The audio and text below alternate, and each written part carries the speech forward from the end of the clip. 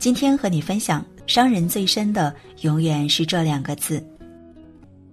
在一个村子里，有一个年轻人，他非常优秀，可是有一个致命的缺点，经常对别人出言不逊。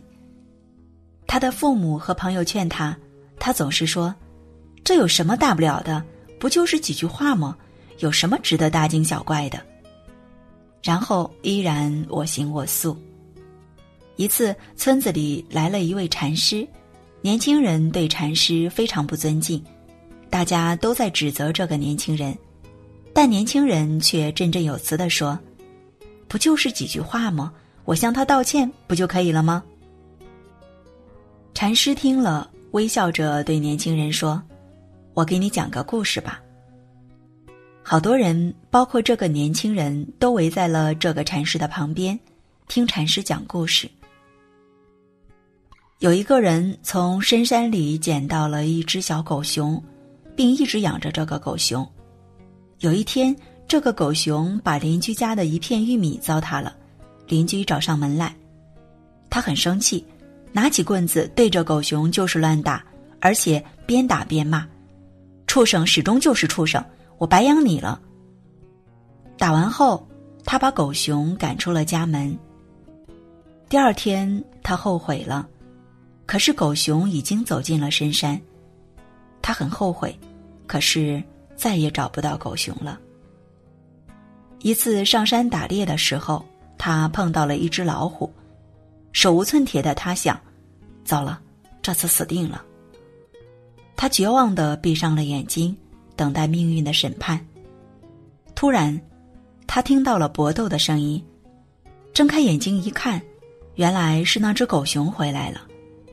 狗熊把老虎赶跑了，他高兴的上去爱抚着狗熊，说道：“太好了，上次我打了你，还疼吗？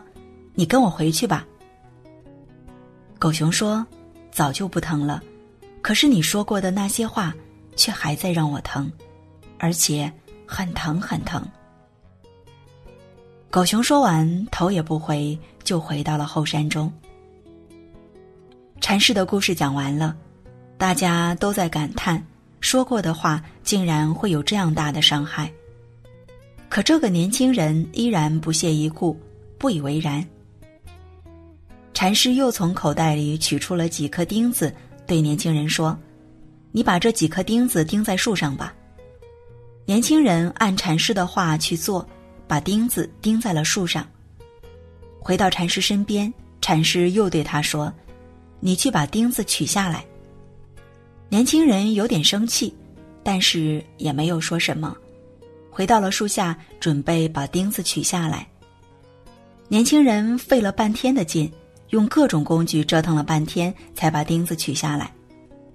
禅师来到了年轻人身边，用手指着那个钉子留下的痕迹说：“就是拔出来，那又能怎么样呢？树干上不是还留下了深深的伤痕吗？就像那个故事里的狗熊一样，虽然棍子留下的疼早已消失了，可是那个人说过的话对他的伤害却是终身难忘的。”禅师又看了一眼年轻人，接着说：“对别人有所伤害的话，就像钉子一样，尽管你能取回来，可是你留给别人的伤害，就像钉子留在树上的疤痕一样，是永远消除不了的。”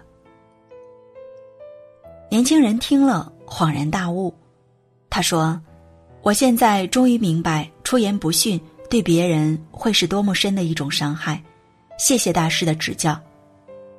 禅师听了，点头称是，然后飘然而去。世界上对别人最深的伤害，永远是语言。当我们对别人出言不逊的时候，也就是把钉子钉进了别人的心中，而且这样的伤害是永远无法弥补的。请记住，说是一种能力，不说是一种智慧。首先，急事慢慢的说。遇到急事，如果能沉下心思考，然后不急不躁的把事情说清楚，会给听者留下稳重不冲动的印象，从而增加他人对你的信任度。第二，小事幽默的说，尤其是一些善意的提醒，用句玩笑话讲出来，就不会让听者感觉生硬。他们不但会欣然接受你的提醒，还会增强彼此的亲密感。三，没把握的事，谨慎的说。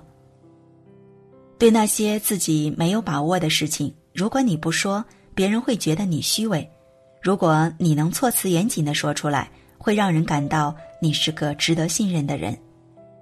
四，没发生的事不要胡说。人们最讨厌无事生非的人。如果你从来不随意臆测或胡说没有的事，会让人觉得你为人成熟、有修养，是个做事认真、有责任感的人。五，做不到的事别乱说。俗话说：“没有金刚钻，别揽瓷器活。”不轻易承诺自己做不到的事，会让听者觉得你是一个言必信、行必果的人，愿意相信你。六，伤害人的事不能说。不轻易用言语伤害别人，尤其在较为亲近的人之间，不说伤害人的话，这会让他们觉得你是个善良的人，有助于维系和增进感情。七，伤心的事不要见人就说。人在伤心时都有倾诉的欲望，但如果见人就说，很容易使听者心理压力过大。对你产生怀疑和疏离，同时你还会给人留下不为他人着想、想把痛苦转嫁给他人的印象。